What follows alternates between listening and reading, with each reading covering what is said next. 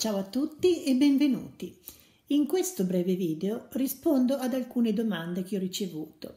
La prima di Gaetano Delfino, che saluto, il quale mi chiede come, eh, da quel che ho potuto comprendere dalla sua domanda, eh, poter allenare la respirazione senza l'ausilio delle mani, perché poi, tolte le mani, magari presumo poi eh, lei Gaetano faccia fatica. Rispondo a questa prima domanda. L'uso delle mani, l'uso della fascia aiuta chiaramente a sentire l'espansione costo-diaframmatica. Cosa può fare eh, Gaetano? Ora io non so se lei si occupa di canto pop o di canto classico, c'è un po' di luce, spero che comunque si veda. Quindi lei utilizza le mani nelle costole medio-basse, non metta troppo in basso per ora, quindi lei allarga, fa questo e sente l'espansione. Mi raccomando, non deve essere una spinta, questo vale per tutti, muscolare eh, delle costole in fuori o con rigidità, lasciate molto morbido. Il torace è solo il soffio dell'aria che espande, espande, espande in questo modo.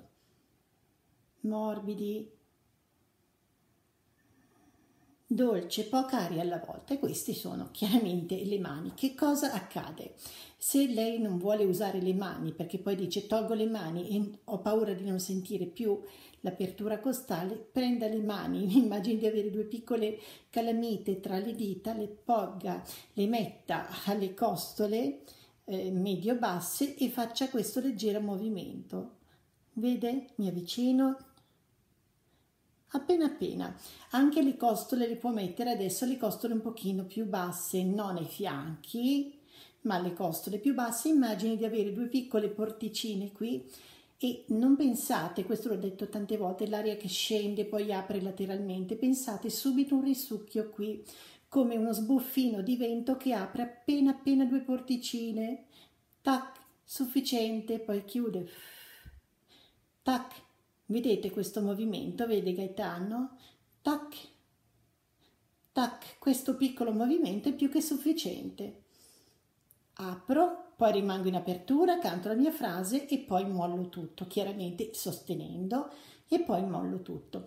Il movimento che può fare poi, togliendo le dita, semplicemente abbandoni le spalle e il torace, immagini di essere un piccolo pesce che apre appena appena le branchie qui, appena appena quasi come eh, se annusasse un fiore. Provi a fare questo, provate per chi mi segue a fare questo.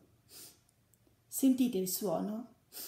Come se annusaste proprio il profumo piacevole di un, di un profumo, di una rosa, di un fiore che vi piace, di una torta al cioccolato, di, di qualcosa che a voi eh, piace. Quindi questo, subito un risucchio laterale, mi raccomando, non davanti, ma laterale.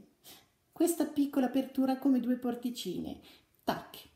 Va bene, spero questo possa aiutarla al meglio a sistemare la respirazione. Io la mostro spesso in maniera massimale perché il nostro strumento va costruito e va allenato, per cui è bene elasticizzare la gabbia toracica al massimo. Poi quando si prende aria, basta anche poca aria ma gestita bene perché come gestiamo l'aria che fa la differenza, basta pochissima aria, soprattutto nel canto pop, pochissima aria ma ben gestita. Cosa significa? Mantenere poi l'appoggio, il sostegno, la voce in avanti, tutto quello che è necessario. Quindi, per chi mi segue per Gaetano, spero di essere stato chiaro.